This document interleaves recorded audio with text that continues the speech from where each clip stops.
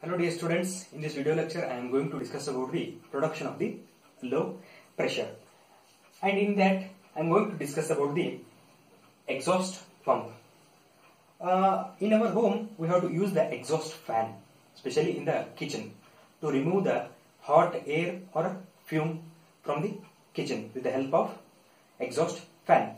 In the similar manner this exhaust pump also work means the exhaust pump it is a device which exhaust or remove the gas or um, gas or air from the vessel.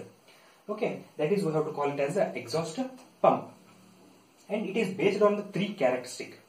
And it is based on the three characteristic. One is the exhaust pressure and second is the degree of vacuum attainable and uh, third one is the speed of the pump.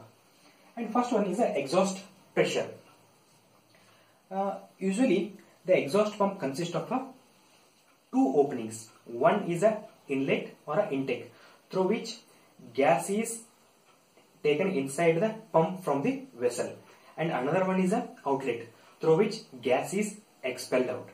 Okay and this exhaust pressure is a pressure on the outlet side of the pump and usually this exhaust pressure may be uh, atmospheric pressure or it may be less than the atmospheric pressure.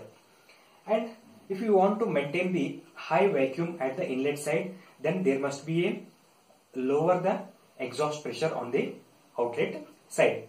To maintain the lower pressure, we have to connect the ordinary pump to reduce the pressure in a series. That we have to call it as an auxiliary. And next one is a degree of vacuum attainable. Degree of vacuum attainable it is defined as the uh, the minimum pressure in the vessel when the pump is connected to the vessel.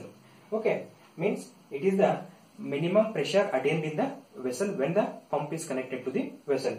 That we have to call it as a degree of vacuum attainable, and it is mostly depends upon the exhaust pressure. And third one is a speed of the pump.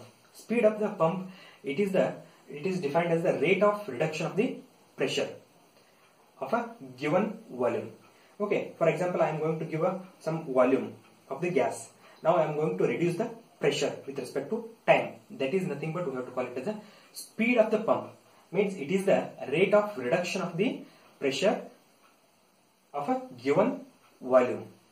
Okay, this is the uh, three characteristic of the exhaust pump. And next one is a expression for speed of the pump